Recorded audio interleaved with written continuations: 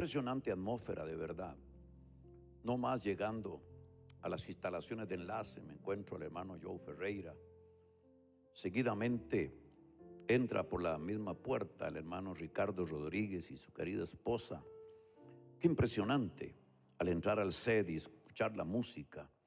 Un tiempo extraordinario. Hay, hay un ambiente para milagros. Escucha, no lo puedes perder Costa Rica, no lo puedes perder México, no lo puedes perder Venezuela, no lo puedes perder Argentina, no lo puedes perder Colombia, no lo puedes perder.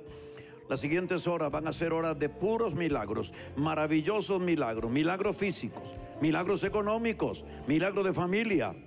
Alabado sea el nombre de Dios. Y mientras pensaba, ¿Qué ambiente? ¿Qué, ¿Qué, se puede decir en un ambiente como este? No se puede tener nada estructurado.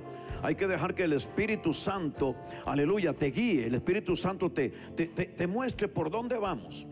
Y entonces el Señor me trae algo que me sucedió hace unas, unas horas. Estando en una zona de mi país hace unos días hablando a pastores, hablando a intercesores. Vino un joven de 29 años, todavía no sé ni su nombre. Me lo debe haber dicho, pero en, la, en el ruido y en el ambiente tremendo no lo escuché. Y él me dijo estas palabras. Cuando yo tenía un año de edad, yo tenía un tumor en el cerebro. Me habían diagnosticado un tumor en el cerebro y tan solo unas semanas de vida. Mi tía me trajo a una cruzada en un famoso salón de antaño llamado La Central en Ciudad Quesada, donde usted estaba dando una cruzada.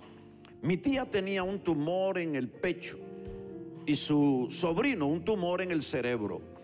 Y yo estaba para morir y mi tía estaba para morir. Pero usted oró por nosotros. Aleluya. Se fue de aquel pueblo y hoy 29 años después yo vengo para conocerlo porque yo quería conocerlo ya que no me morí.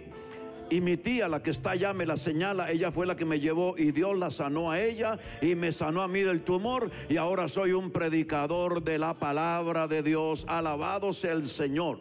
Y sabes que eso me hizo recordar un verso que fue en mi etapa de evangelista, una máxima, un, versículo que, que, casi no podía soltar, siempre lo declaraba. Lucas 1:37, que dice, porque nada hay imposible para Dios.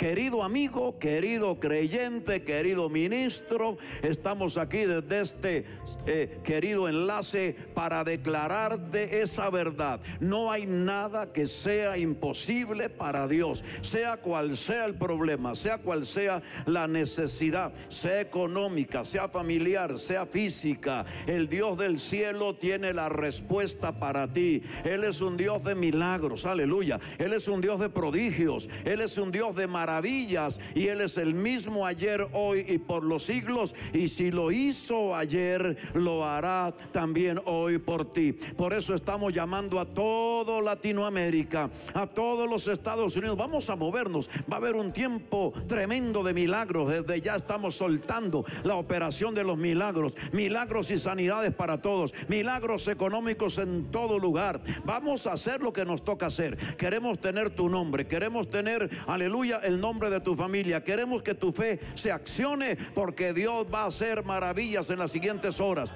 Y por causa de eso vamos a comenzar adorando, hablando acerca de la fidelidad de Dios, de ese Dios que es fiel, de ese Dios, aleluya, que tiene una misericordia extraordinaria y que los que le hemos servido por años podemos decir, oh grande, oh grande, sí Señor, grande es tu fidelidad. Mientras vas a los teléfonos, recuerda, nada hay imposible para Dios y lo que tú necesites, Dios lo puede hacer. Así que recordemos esa maravillosa fidelidad misericordia de Dios mientras te mueves a los teléfonos.